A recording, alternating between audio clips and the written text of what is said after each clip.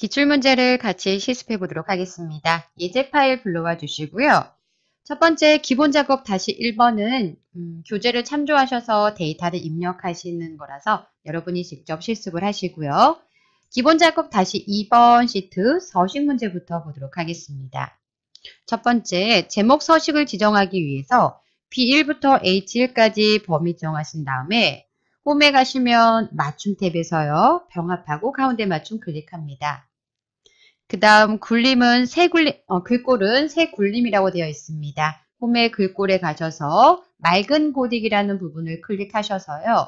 새 굴림을 찾습니다. 글꼴 새 굴림. 크기는 18포인트입니다. 글꼴 크기, 크게란 도구를 이용하셔도 되고요. 또는 글꼴 크기에 가셔서 18포인트 선택하시면 되겠습니다. 첫 번째 제목 서식을 지정하셨고요. 두 번째 B12부터 B, C12까지 컨트롤 키 누른 상태에서 B13부터 C13을 선택하시고요. 홈에 맞춤에 가시면 병합하고 가운데 맞춤이라는 도구를 클릭하셔서 셀 병합 후 가운데 맞춤을 합니다. 다시 한번 B3부터 H3까지 선택하시고요. 홈에 가셔서 글꼴 탭에서요. 채우기 색 도구를 이용하셔갖고 주황색을 선택합니다. 그 다음 맞춤 탭에서 가운데 맞춤 클릭하셔갖고 제목행에 대한 어, 배경 색깔, 채우기 색깔과 가운데 맞춤 서식을 지정합니다. 다음 D4부터 G13까지 선택하시고요. 어, 심표 스타일을 적용하기 위해서 홈 탭에 가시면 표시 형식에 심표 스타일 클릭합니다. 다시 H4부터 H13까지 선택하시고요. 천단위 구분 기호와 원자를 표시하기 위해서 마우스 오른쪽 셀 서식을 클릭합니다. 그 다음 사용자 지정에 가셔서 천단위 구분 기호를 넣겠습니다. 라고 샵 콤마 샵샵 0이라고 입력하시고요. 마지막에 음, 0일 경우 0으로 표시하시오 라고 되어 있으니까 마지막 0을 표시 입력하신 다음에 한글로 원자를 입력합니다.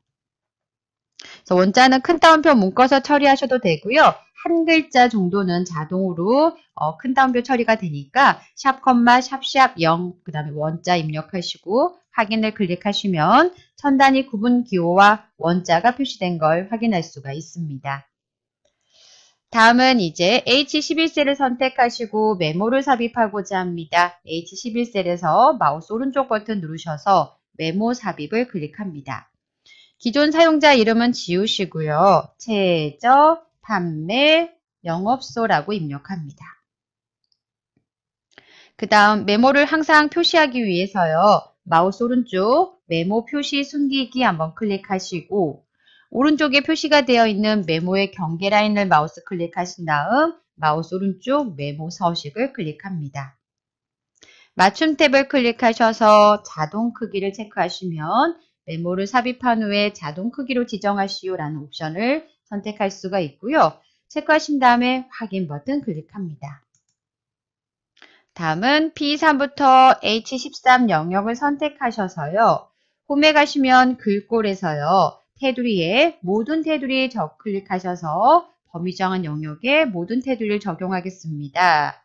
다시 한번 어, 테두리에 가셔서 굵은 상자 테두리 한번 클릭합니다. 다음은 G13셀 선택하시고요. 컨트롤 키 누른 상태에서 H11셀을 선택합니다.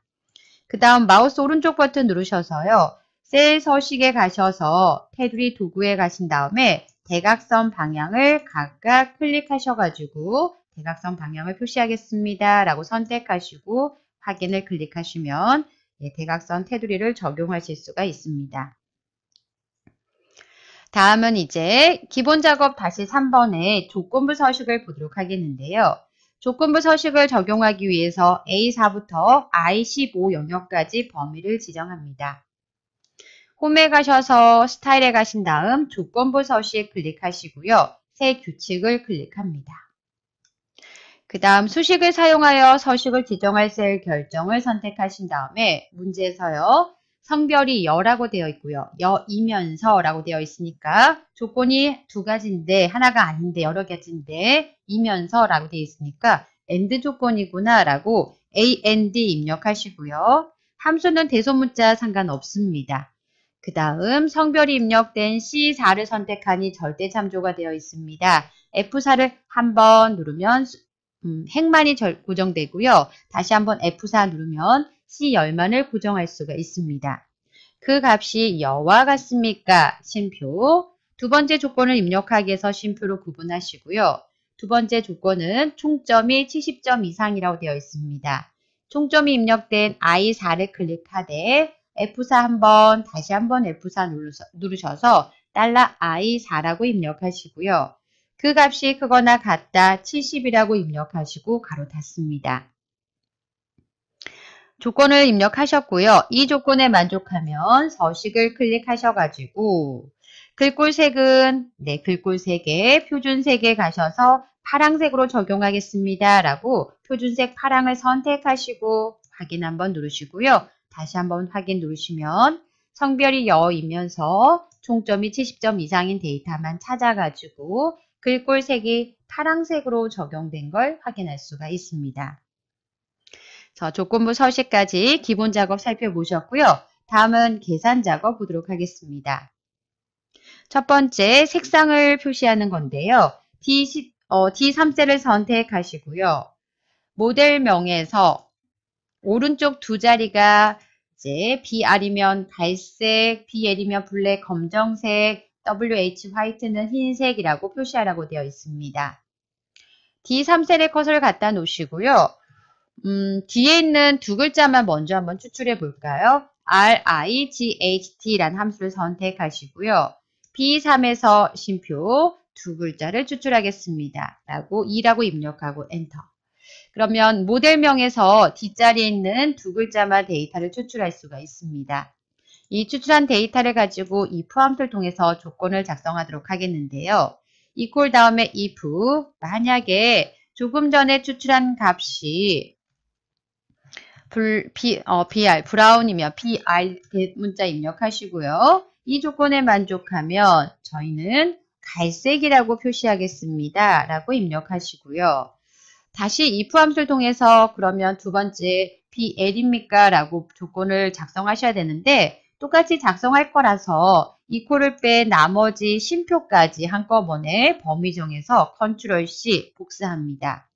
쉼표 뒤에서 컨트롤 V 하면 똑같이 조금 전에 복사한 내용을 붙여 넣을 수 있고요. BR 대신에 BL로 바꾸고 블랙, 그래서 검정이라고 하겠습니다. 라고 갈색 대신에 검정이, 아, 검정색이라고 입력할 거고요.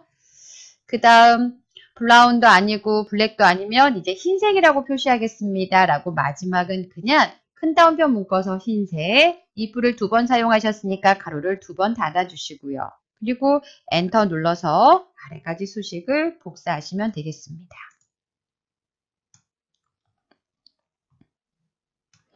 그래서 조건을 작성하는데 모델명에서 뒤에서 한, 두 글자 추출한 값이 브라운 BR과 같습니까? 그러면 갈색 다시 물어봐서 어, 블랙과 같습니까? BL과 같습니까? 그러면 검정색 나머지는 흰색이라고 표시하셔도 되고요. 또 하나 교재에서는 이제 마지막에 있는 흰색을 어, 조건을 따로 작성해서 음, 쓰고자 합니다. 라고 하시면 if 함수를 한 번 더 사용하셔도 됩니다. 예를 들어서요.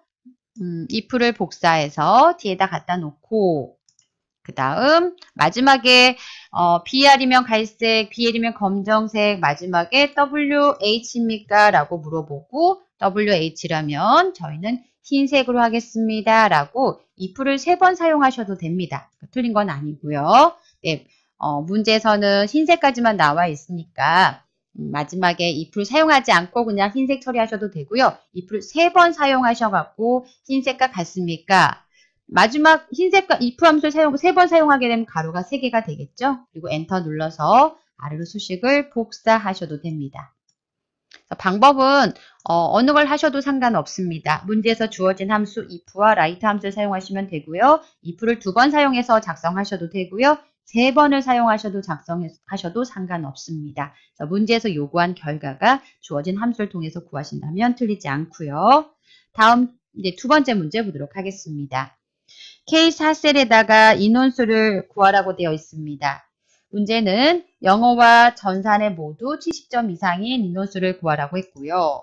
함수는 음, sum if s하고 count if s하고 average if s가 있는데 어, 개수를 구하는 거기 때문에 count if s가 맞겠죠. 그래서 K4에 갖다 놓으시고 수식 탭에 가시면 함수 추가에 통계 갔을 때 count if s란 함수가 있습니다. 선택하시면 첫 번째 조건을 찾을 범위를 물어봅니다. 영어 점수가 있는 H3부터 H11을 선택하고요. 여기에 있는 값 중에서 70보다 크거나 같습니까? 다시 두 번째, 어, 영어 점수가 70점 이상이라면 다시 전산 점수에 가서 I3부터 I11 영역에 가서 이 값이 크거나 같습니까? 70이라고 입력합니다. 그리고 나서 확인하시면 둘 다 70점 이상인 데이터가 3건입니다. 라고 3이라고 구해지고요. 구한값 뒤에다가 명자를 붙입니다. M% 연산자 이용하셔서 명이라고 입력합니다. 다음 세 번째 문제 보도록 하겠는데요. 등수를 구하시오. 등수는 합계가 가장 높은 사람 3명에 대해서 1등, 2등, 3등, 나머지는 공백으로 처리하라고 했습니다. 먼저 순위를 구하기 위해서요. 25셀의 커서를 갖다 놓고요. 이퀄 RANK라고 입력합니다. 가로 열고 바로 왼쪽에 있는 합계 D15가 본인을 포함해서 나머지 합계들 중에서 순위를 구하고자 합니다. 드래그를 하려고 했는데 드래그가 잘 안됩니다. 이럴 때는 거꾸로 이렇게 드래그 하시면 돼요. D23부터 D15까지 드래그는 되실 거고요. 비교와 합계 영역은 항상 같은 자리입니다. 라고 F4 눌러서 절대 참조하시고요. 높은 점수가 1등이기 때문에 어, 별도로 옵션은 지정하지 않으셔도 되고요. 가로 닫고 엔터 누르시면 첫 번째 153은 등수가 7등입니다. 아래까지 수식을 복사했더니 188점, 183점, 180점이 1, 2, 3등을 차지하고 있습니다. 그래서 1등, 2등, 3등은 이제 이렇게 표시할 거고 나머지는 공백 처리를 하기 위해서 25셀에 equal 다음에 마우스를 갖다 놓으시고요. if 만약에요. 조금 전에 구했던 순위가요. 3보다 작거나 같습니까? 아, 1등부터 써야 되니까, 아, 1등부터, 1과 같습니까? 그렇다면 1등이라고 할 거고요. 우리는 1이면 1등, 2면 2등이라고 써야 되니까 1등이라고 입력하고 쉼표. 다시, 어, 1등 아닙니까? 그럼 다시 2와 같습니까? 그럼 2등이라고 표시하고 싶습니다. if RANK 함수를 또 써야 되기 때문에 equal을 뺀 나머지 쉼표까지 범위 정하고 컨트롤 C, 그 다음에 컨트롤 V 합니다.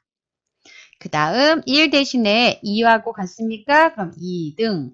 다시 쉼표 뒤에 가서 컨트롤 V에서요. 어, 수식을 확장을 해서요. 2와 같지 않다면 이제 3과 같습니까? 그럼 3등. 입력하시고요. 마지막에요. 1등, 2등, 3등까지는 1등, 2등, 3등이라고 표시하고 나머지는 공백으로 표시하겠습니다. 라고 큰 따옴표 열고 큰 따옴표 닫아주시고요.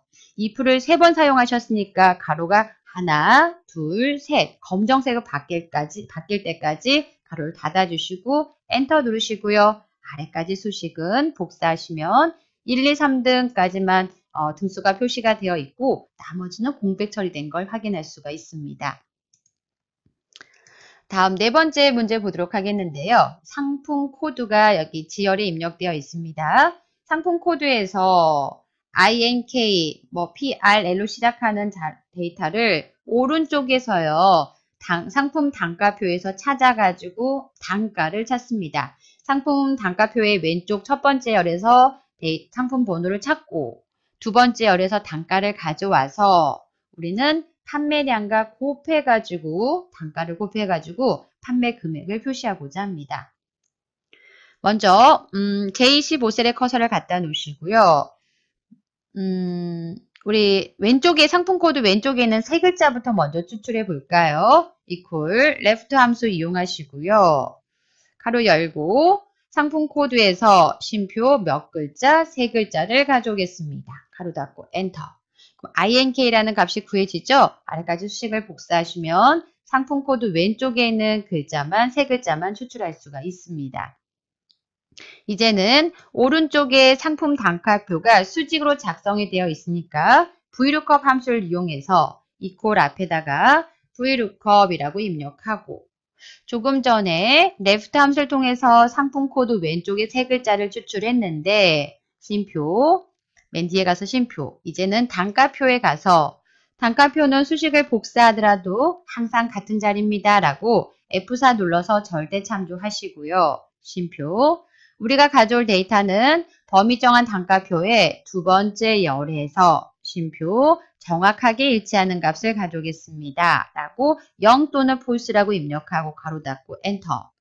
그러면 상품 코드에 해당한 단가가 구해져 있습니다. 이 값 뒤에다가 우리는 곱하기 판매량을 곱해서 판매 금액을 표시하겠습니다. 라고 판매량은 I15를 선택하고요. 아래까지 수식을 복사해 보시면 되겠습니다. 다음은 다섯 번째 9월 사원별 판매 실적표가 작성이 되어 있고요. 소속 지점이 서울이면서 컴퓨터가 100 이상인 컴퓨터의 평균을 구해서 표시하라고 했는데요. 음, 데이터베이스 함수를 사용할 거기 때문에 조건을 사용자가 미리 작성을 하셔야 합니다. 조건을 입력하기 위해서 커서를 F28셀에 갖다 놓으시고요. 음, 조건이 소속 지점이라고 입력합니다. 소속 지점이 서울이라고 입력하시고요. 소속 지점 옆에다가 음, 컴퓨터라고 입력하시고요. 크거나 같다 100이라고 입력합니다. 100 이상이라는 조건을 입력하기 위해서요. 이제 조건을 다 작성하셨다면 H29 셀에 커서를 갖다 놓으시고요. 데이터베이스 함수는 함수 삽입에 가셔서 데이터베이스에 가셔서 우리는 평균을 구할 겁니다. 라고 TAverage 함수 선택하시면 되겠고요. 확인을 클릭합니다.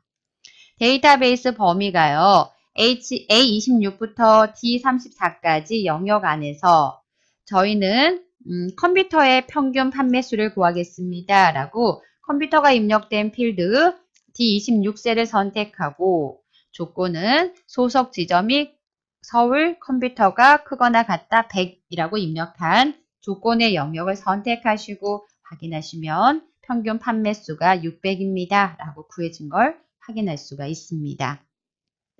그래서 데이터베이스 조건은 필드명과 그 다음에 조건 각각 입력하셔가지고 작성하시면 되겠습니다. 그래서 계산 작업 살펴보셨고요. 다음은 분석 작업 보도록 하겠습니다. 첫 번째 분석 작업은 시나리오를 작성하는 건데요. 시나리오를 작성하기 위해서 이름을 정의하기 위해 B15셀을 선택합니다. 이름 상자에 가셔서 원가 비율이라고 입력하시고요. 엔터 누릅니다. 남치 13셀을 선택하시고 이름 상자에 가셔서 순이익 합계라고 입력하시고 엔터를 누릅니다. 문제에서 B15셀과 G13셀에 대해서 이름을 정의하라고 했고요. 시나리오를 작성하기 위해서는 실제 값의 변화가 있는 B15셀을 선택하시고 데이터에 가시면 데이터 도구의 가상 분석에 시나리오 관리자라고 있습니다. 시나리오 관리자에서 추가를 클릭하신 다음 첫 번째 시나리오 이름은 원가 비율 증가라고 입력하시고 그리고 나서 확인 버튼 누릅니다. 현재는 25%인데 30%로 원가 비율이 증가했다면 라고 30%라고 입력하시고 추가 버튼 누릅니다. 두 번째 시나리오를 입력하기 위해서 원가 비율 인하라고 입력하신 다음 확인을 클릭합니다. 다음 현재는 25%인데 원가 비율을 20%로 낮췄을 때 라고 20%라고 입력하시고 확인을 클릭하시고요. 두 개의 시나리오에 대한 요약을 보고자 합니다. 라고 요약을 클릭하시고 결과값은 G13셀 순이익의 합계를 보고자 합니다. 라고 G13셀이 선택이 되어 있나 확인하신 다음에 확인 버튼 누르시면 현재 분석 작업 다시 1번 시트 앞에 시나리오 요약이란 시트가 만들어지고요. 현재 값 증가했을 때, 인하했을 때, 순이익 합계가 현재 값 증가, 인하했을 때 값이 어, 달라지는 걸 확인할 수가 있습니다.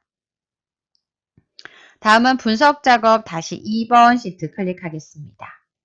데이터표를 작성하기 위해서 행과 열이 교차하는 C10셀을 선택하시고요. 월 상환액이 구해져 있는 셀을 연결합니다. equal 하시고요. C6셀의 데이터를 연결해서 사용하겠습니다. 사실 C6셀은요. 대출금 5천만 원을 연이율 3%에 1년 동안 상환한다면 얼마일까를 PMT 함수를 통해서 구해져 있습니다. 이 값을 아래쪽에 또 수식을 작성하지 않고 연결해서 쓰겠습니다. 라고 이퀄만 이용해서 C6셀을 연결을 했고요. 연결하셨다면 이제 C6셀, 아, C10셀부터 선택하셔갖고요. J16까지 선택합니다. 그 다음 데이터 도구에 가셔서 가상 분석에 데이터 표를 클릭하신 다음에 저희는 어, 연 이율과 대출 기간의 값의 변화에 따른 월 상환액을 구하고자 합니다. 그래서 바뀌는 값이 행이 입력된 데이터는 가로로 입력된 게 연이율이구나 라고 C4셀을 선택하시고요. 열은 대출 기간 C열에 입력되어 있구나. 대출 기간이 입력된 C5셀을 선택하시고요. 확인 버튼 누르시면 화면과 같이 월 상한액이 구해지는데요. 샵샵샵이 표시가 되는 이유는 열 너비가 좁아서 그런 겁니다. 그래서 열머리글 D부터 J까지 선택하시고요. J와 K 경계 라인에서 더블 클릭하시면 열 너비가 조절이 되면서 샵 대신에 숫자가 표시된 걸 확인할 수가 있습니다. 이제 기타 작업 첫 번째 이제 매크로 작업을 보도록 하겠는데요. 매크로 문제는 먼저 기록하는 문제, 그 다음에 연결하는 작업을 합니다. 비어있는 셀을 선택하시고요. 개발 도구 탭에 가셔서 코드의 매크로 기록을 클릭합니다. 매크로 이름에다가 평균이라고 입력하시고 확인을 클릭합니다. 평균을 구하기 위해서 C11셀을 선택하시고요. equal average라고 입력합니다. 가로 열고요. C4부터 C10까지 선택하겠습니다. 가로 닫고 엔터. 평균값을 구하셨다면 오른쪽으로 예, 수식을 채우기 핸들 이용하셔갖고요. F11세까지 수식을 복사합니다. C11부터 F11 영역의 평균을 계산하는 매크로를 생성하셨습니다. 이제 지금 기록하고 있는 매크로를 종료하고자 합니다. 개발 도구 탭에 가셔서 기록 중지 버튼 눌러서 매크로 기록을 종료합니다. 다음은 조금 전에 기록하셨던 매크로를 실행할 수 있는 도형 하나를 만들기 위해서요. 삽입 탭에 가시면 도형이라고 있고요. 도형에 가셨을 때 기본 도형에서 배지를 찾습니다. 배지를 찾으셨다면 위치는 H3부터 H4 영역에 드래그, 아니, H3부터 I4 영역에 드래그 하시고요. 텍스트를 평균이라고 입력합니다. 그 다음 평균 어, 도형에서 마우스 오른쪽 매크로 지정에 가셔서 연결할 매크로는 평균 매크로를 연결하겠습니다. 라고 선택하시고 확인. 그 다음 입력된 음, 텍스트가 현재 2010 버전에서는 왼쪽 맞춤이 되어 있습니다. 그래서 어, 가운데 맞춤을 하기 위해서요. 홈 탭에 가셔서요. 맞춤 탭에 가로 가운데 맞춤, 가로 가운데 맞춤, 그 다음에 세로 가운데 맞춤 클릭하셔서요. 텍스트가 가로 세로 가운데 맞춤이 설정될 수 있도록 작업을 해주시면 되겠습니다. 다음 두 번째 매크로를 기록하기 위해서요. 개발 도구 탭에 가셔서 매크로 기록을 클릭합니다. 그 다음 매크로 이름은요. 두 번째 매크로는 서식이라고 입력합니다. 서식 확인 버튼 누르시고요. 서식은 C4부터 F10까지 영역을 범위 정한 다음에요. 심표 스타일로 적용하라고 했습니다. 홈 탭에 가셔서 표시 형식에 가셔서 심표 스타일 클릭하시면 천단위 구분교를 표시해서 데이터를 표시할 수가 있고요. 그 다음 조금 전에 이제 서식 매크로를 작업한 거를 기록을 그만 중지하겠습니다. 라고 기록 중지 누릅니다. 그 다음 어, 서식의 매크로를 연결할 수 있는 도형을 하나 만들고자 합니다. 삽입 탭에 가셔 도형이죠. 어, 삽입 탭에 가셔서요. 아, 도형 아, 두 번째 문제는 단추네요. 개발 도구에 삽입에 가셔서요. 양치 컨트롤의 단추를 선택하시고요. 위치는 H6부터 I7 영역에다가 드래그합니다. 바로 매크로 지정 대화 상자가 표시가 되어 있다면 서식을 선택하시고 확인 한번 하시고요. 텍스트를 바로 서식이라고 입력하시면 텍스트를 수정하실 수가 있습니다. 어, 단추는 기본적으로 가로, 세로 가운데 맞춤이 되어 있기 때문에 사용자가 별도로 가로, 세로 가운데 맞춤 서식을 지정하지 않으셔도 될 것 같습니다. 그래서 매크로 문제 작업을 하셨고요. 각각 5점씩에서 음, 10점 문제입니다. 다음은 이제 차트 작업 살펴보도록 하겠습니다. 차트는 다섯 문항이죠. 각 다섯 개의 문항에 대해서 서식을 지정하는 문제고요. 각각에 대한 배점은 2점씩입니다. 첫 번째 서식 문제는 차트에 대한 서식은 어, 데이터를 수정하라고 했습니다. 그래서 차트에서 마우스 오른쪽 데이터 선택하시고요. 그 다음 어, 성명별로 신장과 체중 계열만 차트에 표시되도록 데이터 범위를 어, 지정하라고 했습니다. 현재는 신장과 체중과 가슴 둘레 세 개가 나왔는데요. 저희는 음, 가슴둘레는 필요하지 않습니다. 라고 선택하시고요. 제거 버튼 누릅니다. 그 다음 오른쪽에요. 어, 가로축 레이블에 갈리브와 김초로 생상부 박명철 되어 있는데 저희는 성명만 표시하고자 합니다. 오른쪽에 있는 가로 항목줄 레이블에서 편집을 클릭하시고요. 실제 저희는 성명만을 표시하겠습니다. 라고 B4부터 B9 영역을 선택하시고요. 확인 버튼 클릭하시면 예, 가로축 레이블에는 실제 성명만이 표시된 걸 확인할 수가 있습니다. 데이터 원본 선택 대화 상자에서 확인을 클릭하시면 문제에서 요구한 성명별로 신장과 체중만 차트로 표시된 걸 확인할 수가 있습니다. 다음은 차트 종류를 바꾸기 위해서 차트 안에서 마우스 오른쪽 차트 종류 변경을 클릭하시고요. 가로막대에 문근 가로막대형을 선택하시고 확인을 클릭합니다. 다음 세 번째 차트 제목을 입력하기 위해서 차트 도구의 레이아웃에 레이블에 차트 제목을 선택하고 차트 위를 클릭합니다.